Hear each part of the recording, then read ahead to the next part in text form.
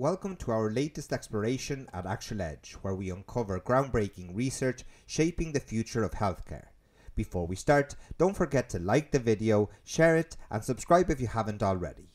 Today we delve into a revolutionary study conducted by researchers at the Duke Human Vaccine Institute, also called DHVI, shedding light on a promising avenue in the fight against AIDS. At the forefront of this research is the discovery of a tiny yet pivotal part of the surface of the HIV virus known as the envelope glycoprotein.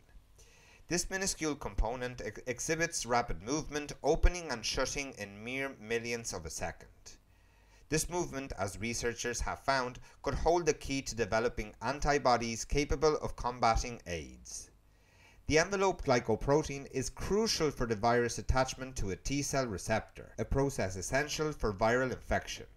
Despite its significance, this part of the virus poses a formidable challenge as it continually moves to evade detection by the immune system.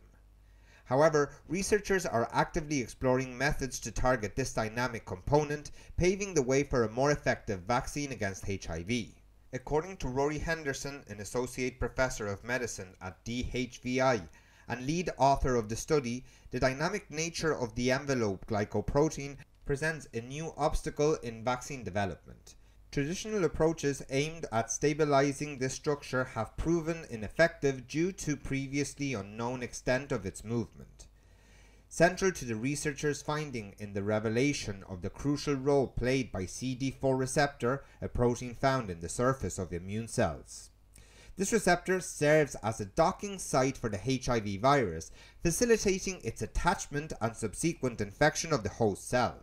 The interaction between the virus and the CD4 receptor triggers the opening of the envelope structure, exposing a vital site essential for infection. Understanding this complicated process has led researchers to identify a potential target for intervention, an antibody capable of keeping the virus's envelope structure closed, thereby preventing infection. This discovery marks a significant step towards the development of a HIV vaccine.